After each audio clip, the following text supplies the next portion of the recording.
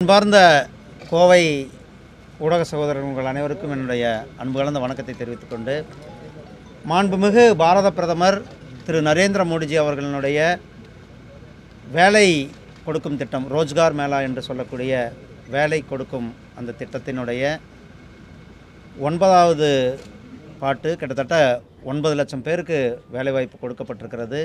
அது இன்றைக்கு நாடு முழுவதும் ஐம்பத்தி ஓராயிரம் பேருக்கு இன்றைக்கு வேலை அந்த அப்பாயின்மெண்ட் ஆர்டர் கொடுக்கப்பட்டது அதில் முதல் இன்றைக்கு நம்மளுடைய கோயம்புத்தூரினுடைய சட்டப்பேரவை உறுப்பினர் மனு மரியாதைக்குரிய திருமதி வாணி ஸ்ரீனிவாசன் அவர்கள் கலந்து கொண்டிருக்கிறார்கள். கோவை பகுதியினுடைய போஸ்ட் மாஸ்டர் ஜென்ரல் அவர்களும் இங்கே இருக்கிறார்கள்.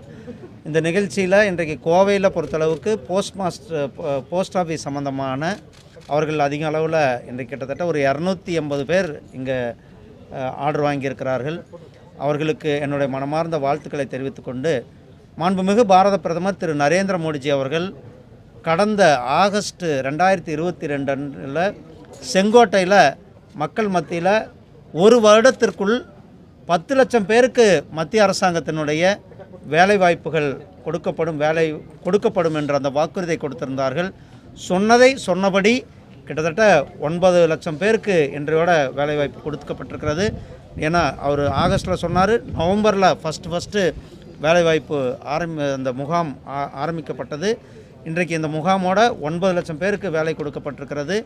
இன்னும் ஒரு லட்சம் பேருக்கு இன்னும் இரண்டு முகாம்கள் இருக்கிறது. அந்த முகாம்களில் பத்து லட்சம் பேருக்கும் கொடுக்கப்படும் அதே போல் மத்திய அரசாங்கத்தில் பத்து லட்சம் பேருக்கு கொடுக்கறதோடு இல்லாமல் என்டிஏ அரசாங்கம் எங்கெங்கே இருக்கிறதோ அந்த அரசாங்கங்கள் அந்தந்த ஸ்டேட்டில் அவர்களும் இந்த வேலைவாய்ப்பு முகாம்களில் கலந்து கொண்டு வேலைகளை கொடுக்க வேண்டும் என்பது அதுவும் அந்த அந்த அரசாங்கம் மாநில அரசாங்கங்கள் கொடுத்து கொண்டிருக்கிறார்கள் என்பதையும் உங்களிடத்தில் சொல்லிக்கொண்டு இன்றைக்கு இளைஞர்கள் ஒரு இந்தியா புது இந்தியாவை நாம் பார்த்து கொண்டிருக்கின்றோம்.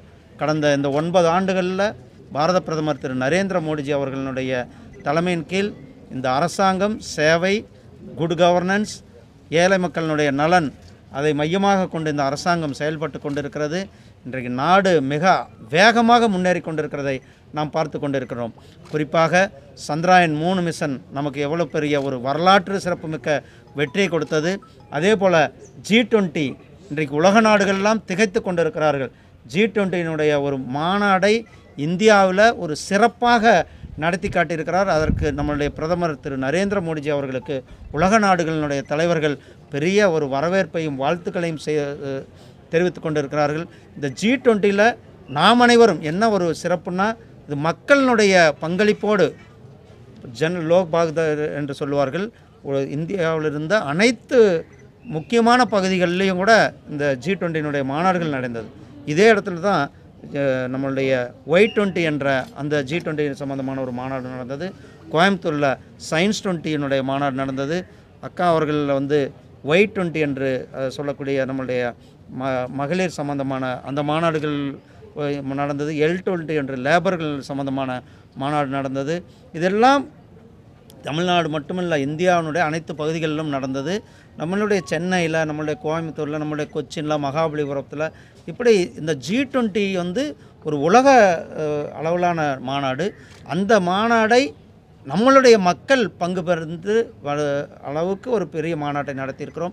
அதில் நம்ம எல்லாம் ஒரு பாட் நம்ம எல்லாம் ஒரு உறுப்பினர் என்பதில் நமக்கு மிகப்பெரிய ஒரு கௌரவத்தை கொடுத்திருக்கிறது கர்வத்தையும் கொடுத்து கொண்டிருக்கிறது. இன்றைக்கு இந்த தேசம் ஒரு மிகப்பெரிய முன்னேற்றத்தை நாம் பார்த்தோம். இரண்டு நாளைக்கு முன்னாடி வந்தே பாரத் ரயில்கள் நம்மளுடைய மாண்புமிகு பாரத பிரதமர் திரு நரேந்திர மோடிஜி அவர்கள் தொடக்கி வைத்தார்கள். ஏற்கனவே தமிழ்நாட்டுக்கு மூ மூன்று இரண்டு இருந்தது. இப்போ இரண்டோட நான்கு வந்தே பாரத் ரயில்கள் கொடுக்கப்பட்டது. ஏற்கனவே சென்னை கோயம்புத்தூர் சென்னை மைசூர் இப்போது சென்னை திருநெல்வேலி அதே போல் சென்னை விஜயவாடா. இப்போ நான்கு வந்தே பாரத் ரயில்கள். இந்த வந்தே பாரத்தினுடைய ரயில்களினுடைய சிறப்பு நம்மளுடைய உள்நாட்டில் தயாரிக்கப்பட்டது. குறிப்பாக நம்மளுடைய சென்னை ஐசிஎஃப்பில் தயாரிக்கப்பட்ட இந்த வந்தே பாரத் ரயில்கள். இது வந்து இந்தியா மட்டுமல்லாமல் உலகத்திற்கும் மேக் இன் இந்தியா திட்டம். பிரதமரினுடைய கனவு நம்மளுடைய பொருள்கள் எப்படி நம்மளுடைய திருப்பூர் பொருள்கள் உலகம் முழுவதும் சென்று சேர்கிறதோ எப்படி நம்மளுடைய கோயம்புத்தூர் பொருள்கள் உலகம் முழுவதும் சென்று சேர்கிறதோ அதே போல் இந்தியாவில் இருக்கிற அனைத்து பொருள்களும் வெளிநாடுகளுக்கு போக வேண்டும். இன்றைக்கு நம்ம சென்னை ஐசிஎஃப்லிருந்து ரயில் பெட்டிகள் வெளிநாடுகளுக்கு போவது நமக்கெல்லாம் பெருமை.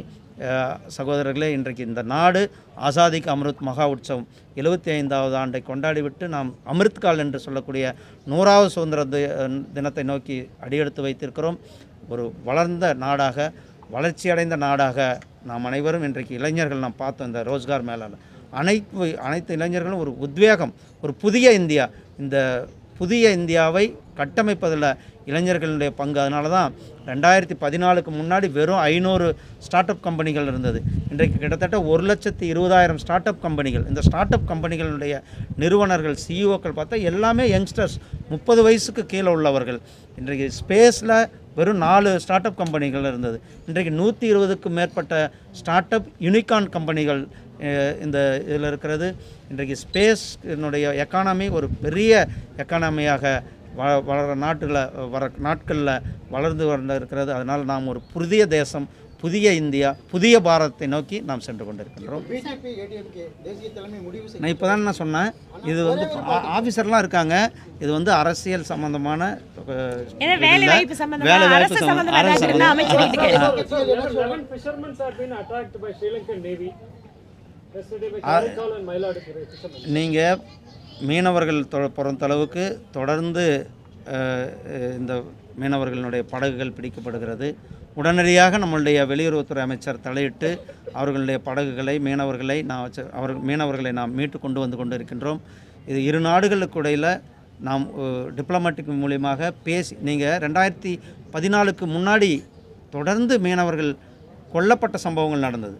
ஆனால் ரெண்டாயிரத்தி பதினாலுக்கு பிறகு ஒரு மீனவர்கள் கூட கொல்லப்படவில்லை என்பதையும் உங்களுக்கு தெரிவித்துக்கொண்டு மீனவர்கள் மேலே அதிக அக்கறை கொண்ட நம்மளுடைய பிரதமர் திரு நரேந்திர மோடிஜி அவர்கள் மீனவர்களுக்காக புதிய அரசாங்கத்தை அதாவது புதிய ஒரு அமைச்சகத்தை கொடுத்தார். அமைச்சகத்தை கொடுத்தது மட்டுமில்லாமல் முதல் முறையாக இருபதாயிரம் கோடி ரூபாய் பிஎம்எம்எஸ் என்று சொல்லக்கூடிய இருபதாயிரம் கோடி ரூபாயில் அந்த திட்டத்தையும் கொடுத்து அதே போல் மீனவர்களுடைய படகுகளை அவர்களுக்கு கம்யூனிகேஷன் டிவைஸ் கிட்டத்தட்ட தமிழ்நாட்டுக்கு மட்டுமே பதினேழு கோடி ரூபாய் அந்த கம்யூனிகேஷன் டிவைஸ்க்கு நாம் கொடுத்துருக்கிறோம் அதனால் மீனவர்களுடைய பாதுகாப்பில் இந்த அரசாங்கம் மிக கவனமாக நாம் செய்து கொண்டிருக்கின்றோம். அவர்களை மீட்டு கொண்டு வருவதில் துரிதமாக வேலை செய்து கொண்டிருக்கின்றோம். இந்தியா கூட்டணி இந்தியா கூட்டணி குறித்து பொது வெளியில விமர்சிக்க உங்களுக்கு முடியுது. ஆனா உங்களுடைய கூட்டணி பிரச்சனை குறித்து பேசும்போது ஏன் தயங்குறீங்க?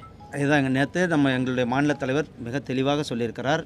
இது சம்பந்தமாக எங்களுடைய ஆல் இந்தியா தலைமை ரொம்ப அவர்கள் கருத்துக்களை சொல்லுவார்கள் அவர்கள் அதற்கு விளக்கம் இல்ல கொடுப்பார்கள் எது எதிர் கூட்டணியுடைய இல்ல, நான் தான் சொல்லிட்டேனே. நன்றி. அது- குறித்து பேசுறீங்க உங்க பிரச்சனை. நன்றி. வணக்கம். உடனுக்குடன் செய்திகளை அறிந்து கொள்ள ஐஎஃப் தமிழ் பெல் ஐக்கனை கிளிக் செய்யுங்கள்